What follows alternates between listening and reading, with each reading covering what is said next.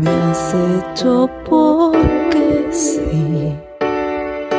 Seguir las huellas de tu olor,